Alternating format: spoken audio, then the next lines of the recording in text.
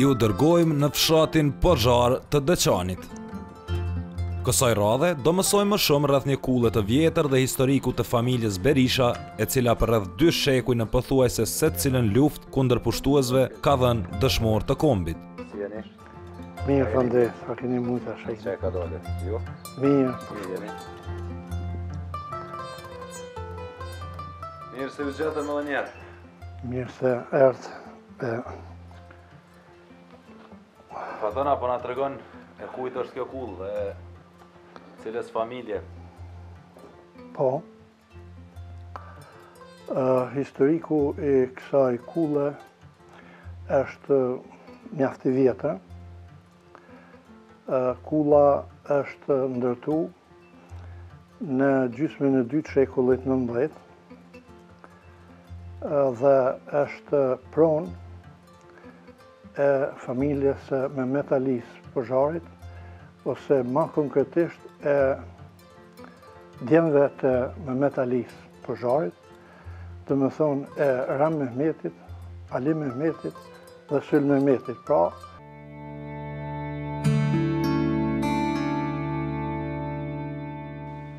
është njëra prej kullave të dallume historike, që ka një histori shumë të dhemshme, po dhe krenore, Në këtë kullë, domethënë janë rritë trima heronj dhe luftëtarë të dalluar që kanë kontribu në të gjitha trojet shqiptare. Në këtë kullë, domethënë, kulla jonë ka qenë edhe pikëtakim dhe vendtakim i pothuajse të gjithë krenëve shqiptarë të Lëvizjes Kombëtare Shqiptare, duke përfshirë këtu Bajram Currin, Hasan Prishtinën, Jakup Ferin, e prijës tjerë, domethënë, Sadik Ramën e Gjurgjevikut, i cili e ka pasë këtë kullë sikur shpi të veten, por edhe prijës tjerë të lëvizjes, domethënë. Këtu Janë marrë disa vendime të rëndësishme, e një prej tyne është edhe një vendim që merret në vitin 1912, domethonë,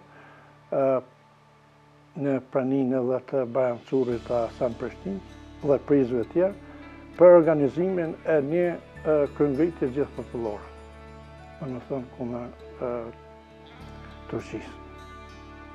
Në këtë kullë, janë marrë vendime, domethonë, për me u ngritë në kryengritje, domethonë, në kryengritjet që janë bo prej vitit 1908 dhe 1910, domethonë, ku kanë marrë pjesë edhe pjesëtarë të kësaj familje. Këtu, Janë marrë disa vendime të rëndësishme, e një prej tyne është edhe një vendim që merret në vitin 1912, domethonë, në praninë edhe të Bajram Currit, të Hasan Prishtinës dhe prijësve tjerë, për organizimin e një kryengritje gjithëpopullore, domethonë, kundër Turqisë. në këtë kullë janë marrë vendime, domethonë, për me u ngrit në kryengritje, domethonë, në kryengritjet që janë bo prej vitit 1908 dhe 1910, domethonë, ku kanë marrë pjesë edhe pjesëtarë të kësaj familje. Rreth një shekull më parë, kjo kullë ka shërbyer edhe si shkollë. Nga viti 1915 dhe 1918, shkollë, pra, shkollën e ka hapë Ali Mehmeti i Puzhajt, bashkëpunim me Bajram Currin edhe Hasan Prishtinën, pra që i kanë mbledhë paret e i kanë e kanë hapë shkollën, dhe mësusi i parë në këtë shkollë ka qenë Ibrahim Fehmiu, pra babai i Bekim Fehmiut.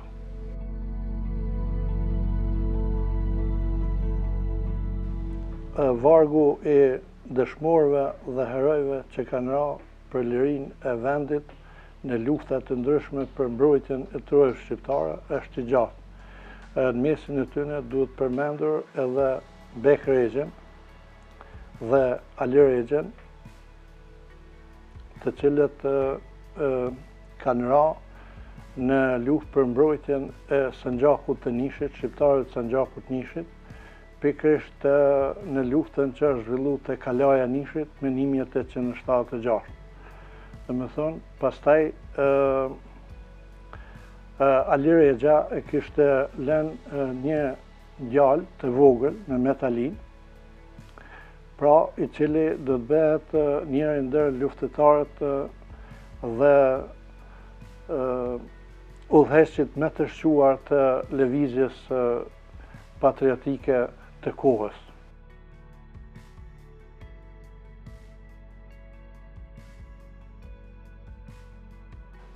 i njëjti, pra Mehmet Alia, do të merr pjesë edhe në organizimin e luftës Sarajit, një luftë të ashpër kundër Mehmet Ali Pashë Maxharit, i cili në luftim e sipër vritet nga luftetarët e Lidhjes Shqiptare të Prizrenit. Mirëpo në këtë luftë kaq të ashpër vritet edhe Mehmet Alia i Pozharit, i cili njëherit ishte edhe prijësi i fisit Berishë. Në përpjekje për liri dhe pavarësi, domethënë, është vra edhe është vra edhe Rexh Alia dhe Met Alia. Rexh Alia është vra nga organizata Dora e Zezë, një organizatë famkeqe serbe në vitin 1928, dhe Met Alia po ashtu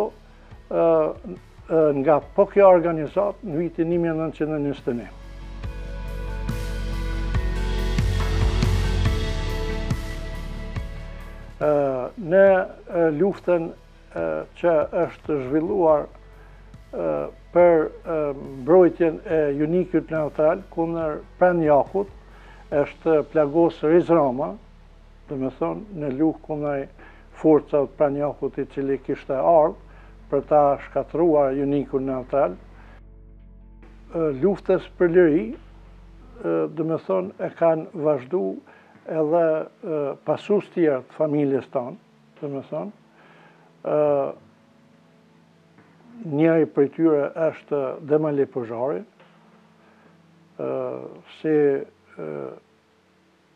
prijës popullor, por që arriti me përkrahjen edhe të familjes, të bëhet njëri ndër udhëheqësit më të dëgjuar në gjitha trevat shqiptare, i cili mori pjesë në luftën për mbrojtjen e Plavë-Gusisë, por edhe në lufta të tjera që janë zhvillu për liri dhe pavarësi. Duhet cek se Demë Ali Pozhari ka marrë pjesë edhe luftën që është zhvillu në Junik Botushë, kundër forcave partizane.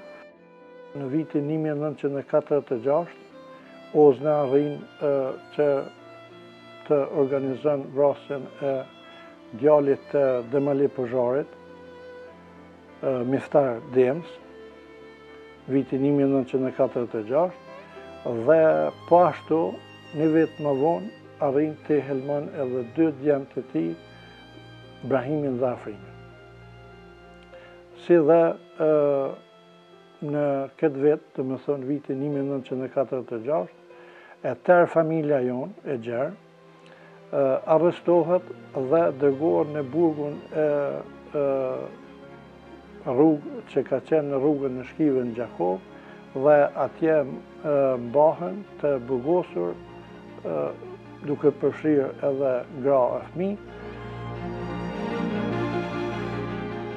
Familja jonë, domethënë, luftës për liri, ndër breza, siç u tha edhe më herët, ka vazhdu deri në luftën e fundit. Pra, edhe në luftën e fundit, i ka dhënë dy dëshmorë.